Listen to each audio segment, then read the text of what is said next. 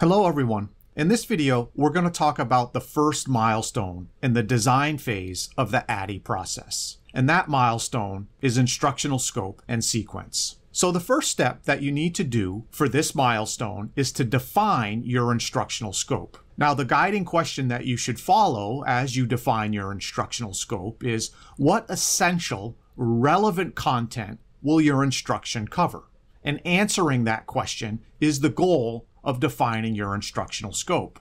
Now, the first step of defining your instructional scope should be to clarify the goal of your instruction. So go back to your analysis work and review your instructional goal. Here's an example.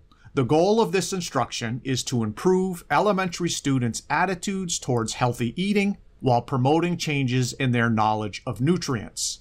And we can see from this example that it actually breaks down into two parts. So the instruction has two goals. One, to improve elementary students' attitudes towards healthy eating while promoting changes in their knowledge of nutrients. So there's kind of a cognitive goal here and an affective goal. Now, once you've clarified the goal of your instruction, what you need to do is specify the content that must be covered to address your project's educational problem.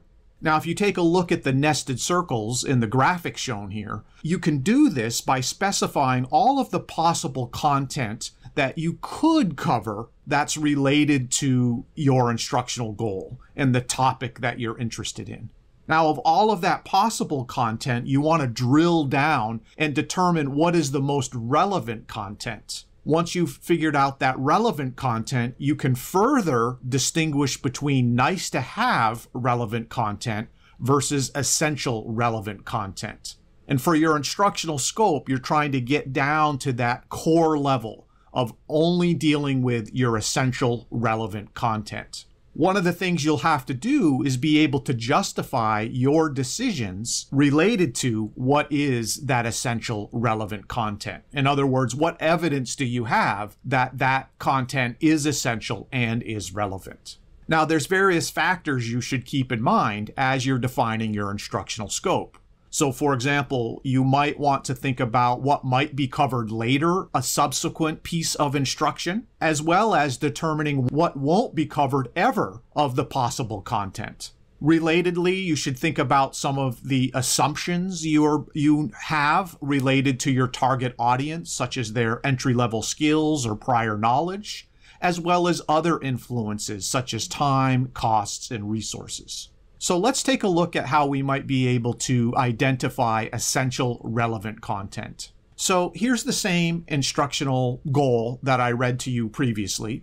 The goal of this instruction is to improve elementary students' attitudes towards healthy eating while promoting changes in their knowledge of nutrients. Now, when thinking about what content could be covered, I'm going to look for existing resources such as the National Health Education Standards. And I can see here there's actually eight different standards. And if I was to learn more about each of those standards, I would see that for elementary students, specifically grades through three through five, there's actually all of these substandards. And it would quickly become apparent that in one hour of instruction, even though all of this is relevant to students' attitudes and knowledge of healthy eating and nutrients, it's way too much.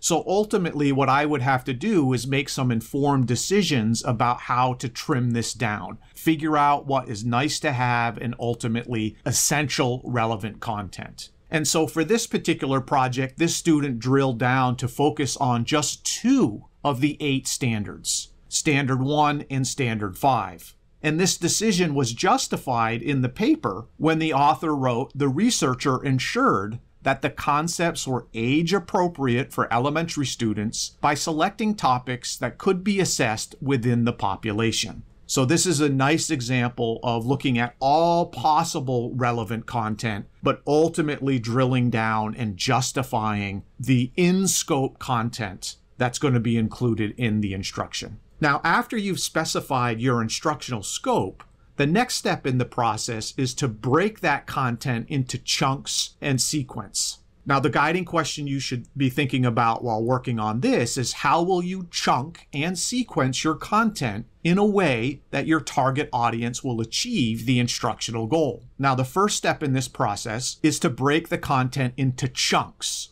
And, and what's a chunk? Well, a chunk is simply a set of topics that go together logically. When you're breaking your content into chunks, you need to ensure that the size of each chunk aligns with the characteristics of your target audience. So some things to be thinking about would be how would the size of the chunks change if you were working with novices versus experts or with learners who have low motivation versus high motivation or learners who are really busy and don't have a lot of time versus those who have a lot of time to spend with your instruction. All of those characteristics are factors that are going to influence the size of each chunk. So you need to keep that in mind as you break content into chunks.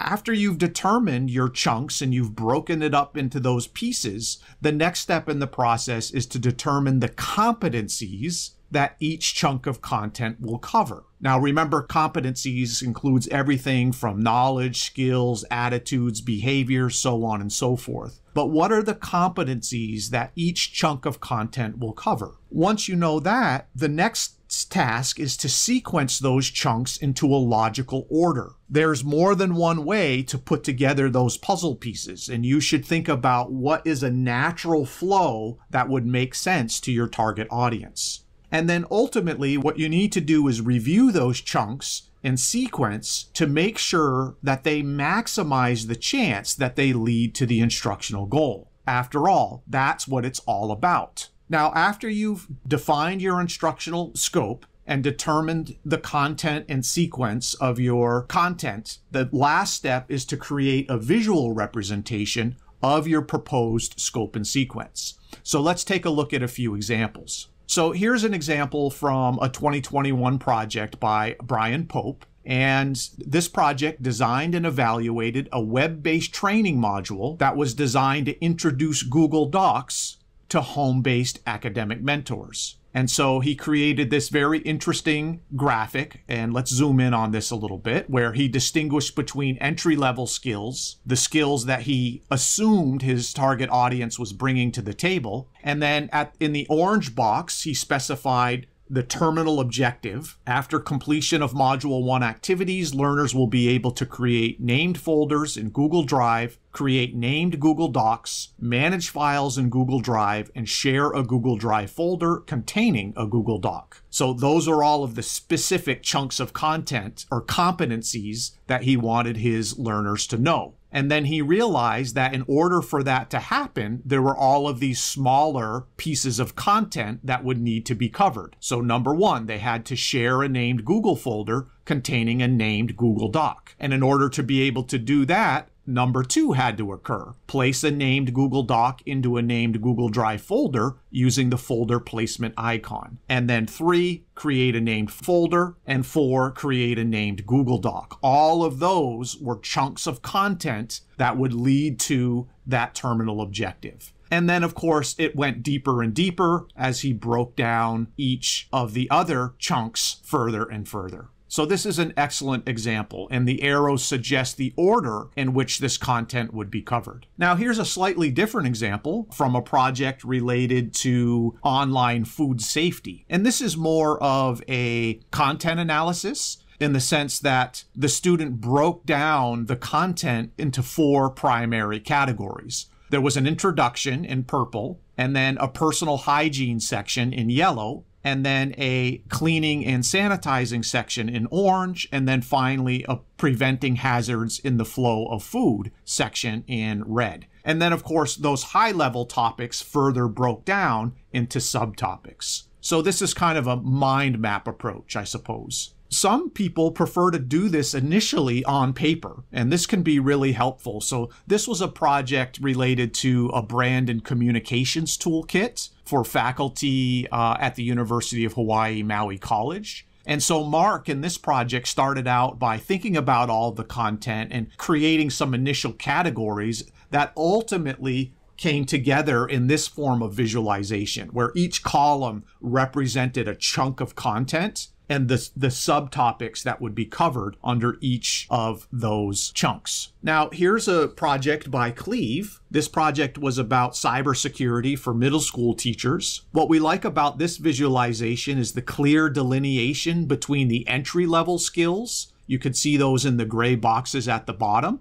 and then a very linear progression of what topics need to be covered in what order in order to get to that terminal objective up at the top in green. Now, here's another example from John Harwell, and this particular graphic reads from bottom to top. One of the things you'll notice, this was a project about credit scores for young adults, is they're color coded related to Bloom's taxonomy. So all of the green elements are related to understanding, all of the orange items are related to application, and all of the purple ones are the higher cognitive level of analysis. And so he broke things down. What do these young adults need to understand about the credit system and credit itself? And then they need to be able to apply that information to predict credit score results within various financial scenarios. And then ultimately, he wanted to get them to be able to analyze factors that impact one's credit score. And so here, a nice scope and sequence of the essential relevant content. One more for the road. Here is an example from Priscilla Wang and her project related to runway walks and pageant evening gowns. And she did a great job. She had a legend here with some color coding. Down at the bottom, she had her entry level skills defined. And then she broke her content into three lessons lesson one, lesson two, lesson three. Lesson one was an introduction that covered three primary topics, and she specified learning activities related to those topics. Lesson two introduced four different topics, and lesson three introduced four new topics and subtopics. But all of these together